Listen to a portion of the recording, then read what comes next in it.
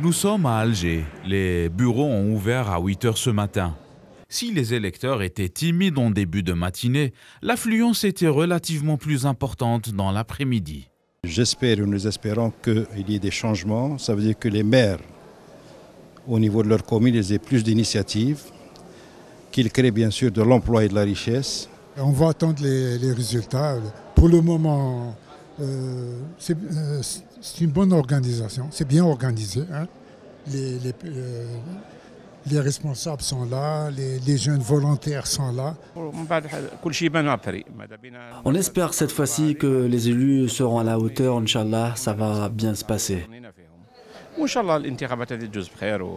Un scrutin adapté à la situation sanitaire actuelle des mesures préventives ont été entreprises par les encadreurs à l'intérieur des centres de vote.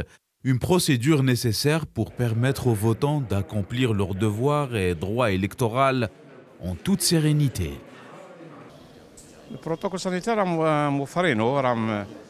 Le protocole sanitaire est garanti avec la mise à disposition des moyens de protection.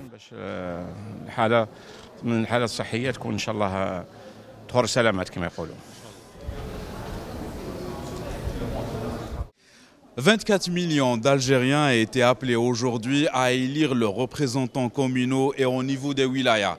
Des élections locales qui rentrent dans le cadre du processus institutionnel mis en place par le président de la République avec la révision constitutionnelle du mois de novembre 2020 et les élections législatives du mois de juin 2021.